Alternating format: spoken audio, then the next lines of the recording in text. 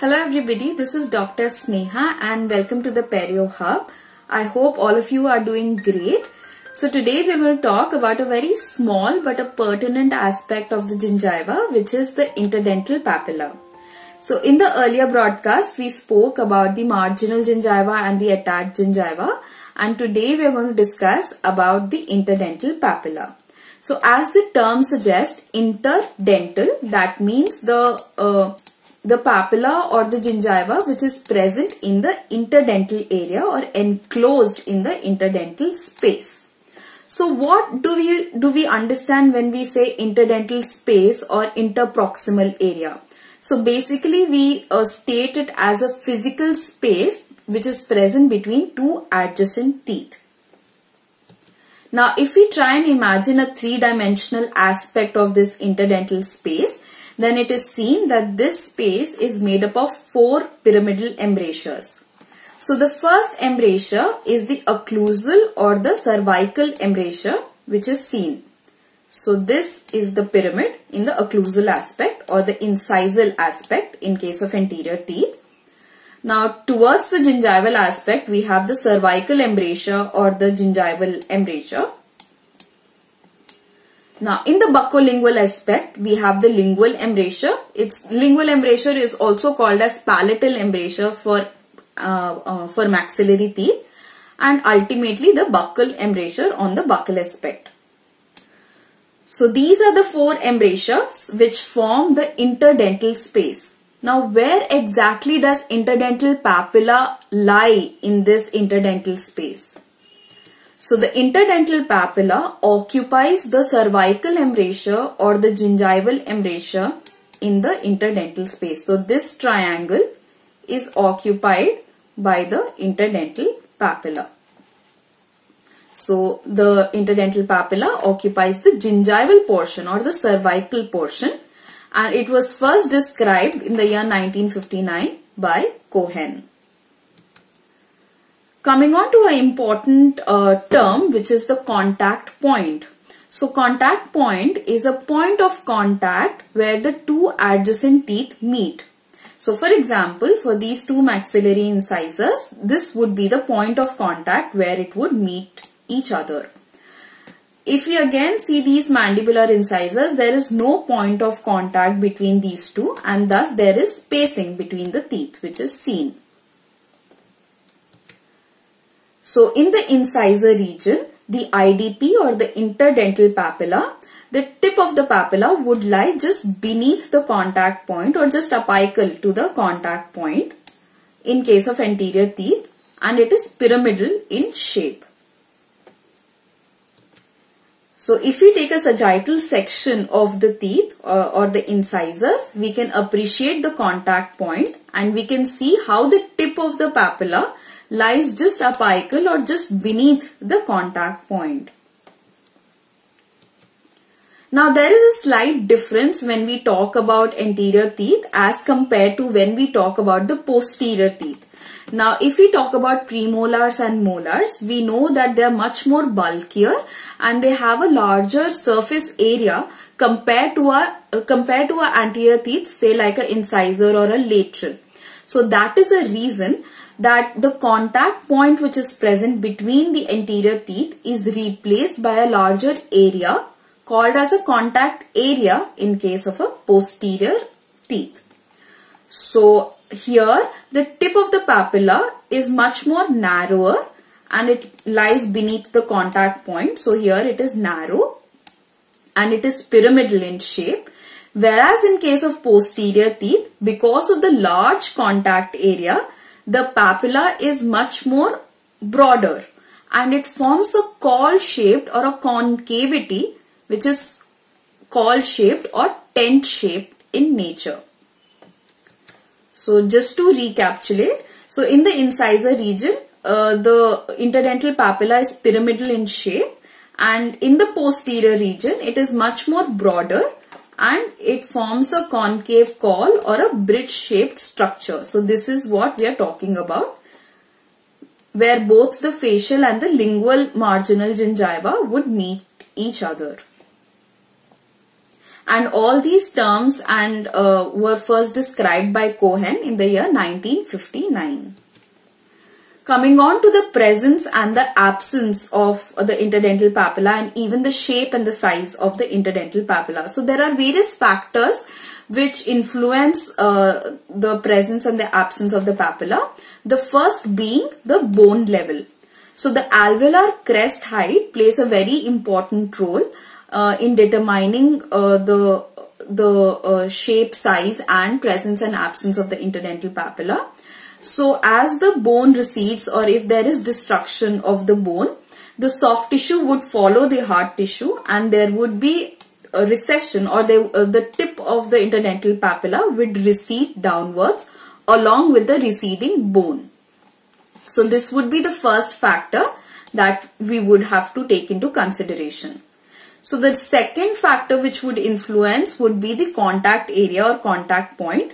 Now the size, the shape, the position of the contact area and point would determine the underlying interdental papilla.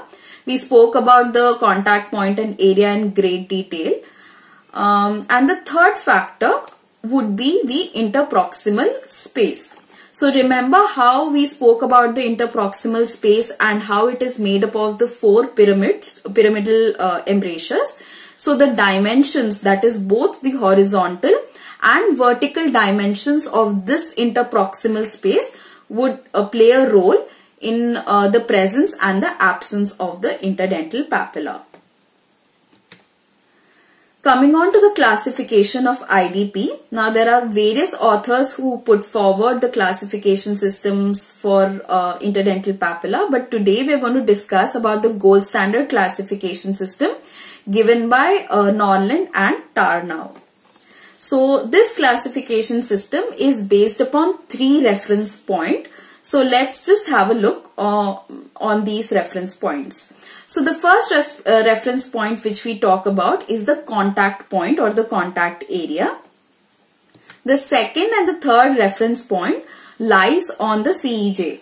So if we consider this black demarcation as the cemento-enamel junction, then the second reference point lies on the interproximal CEJ that is the mesial or the distal uh, CEJ and the third reference point lies on the facial CEJ. So taking into consideration the contact point, the interproximal CEJ and the facial CEJ which are the three reference point, let's classify the interdental papilla.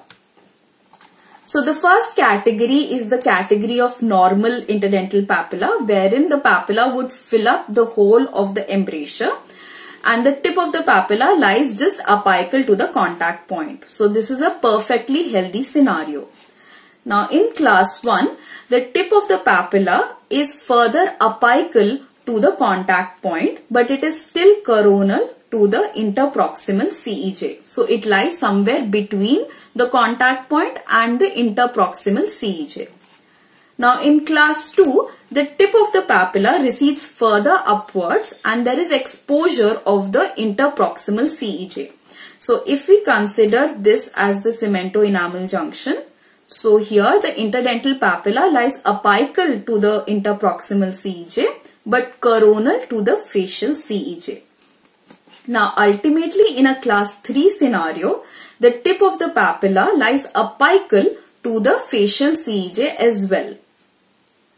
Now why is it important for us to understand this classification or to know this classification? So there are two major important reasons why we should know. First would be aesthetics.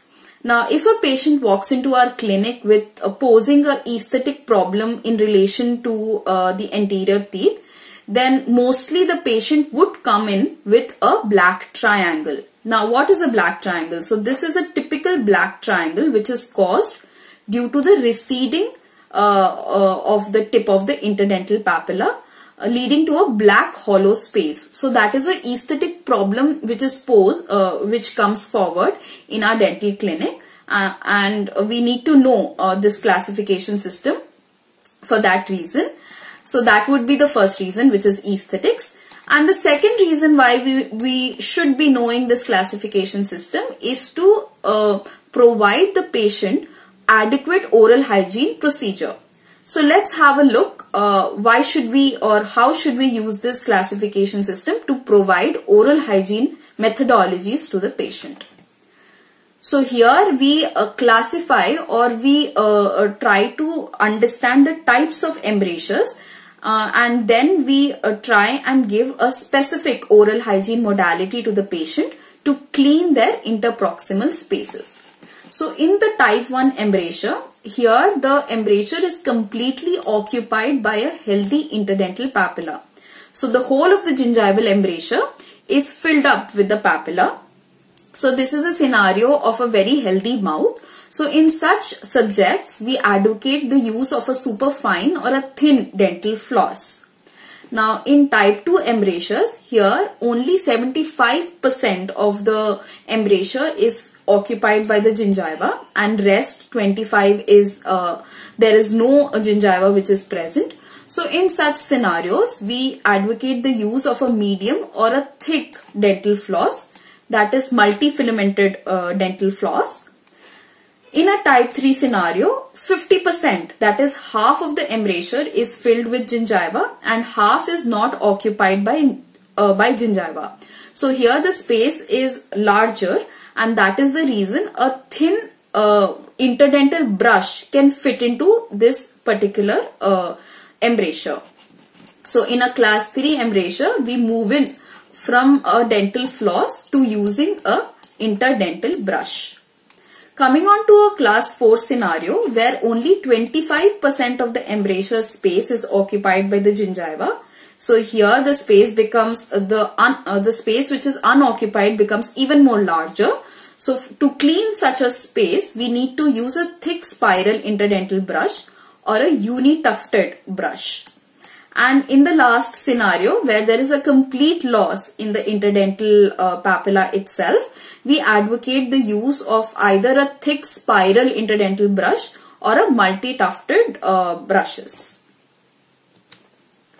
So just to summarize, uh, we started off by speaking about the interdental space and we spoke about how this interdental space three-dimensionally can uh, can be put into four pyramidal embrasures that is the cervical, the occlusal, the buccal and the lingual. And we spoke about the interdental papilla and how it fills the gingival embrasure of the uh, interdental space. We spoke about the different shapes of the interdental papilla, that is how it is pyramidal in case of anterior teeth and how it becomes col-shaped or tent shaped in case of a posterior dentition. We spoke about the difference between the contact point which is seen in anterior teeth and a contact area which is seen in case of posterior teeth. We saw the various factors which influence the presence and absence of papilla. We saw the classification system uh, given by Nordland and Tarnow uh, of the IDP, interdental papilla. And we saw the various classification of the gingival embrasure and which oral hygiene modality to be used in which type of embrasure. So with this, I uh, conclude this topic on interdental papilla. I hope this video was helpful and useful. Please do like this video and subscribe to this channel.